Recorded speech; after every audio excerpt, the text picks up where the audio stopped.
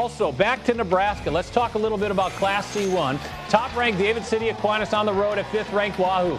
And the Warriors, they came out to play a Cameron Quick eight yard pass to Brendan Lacey. 7 0 Wahoo. And how about special teams for Wahoo?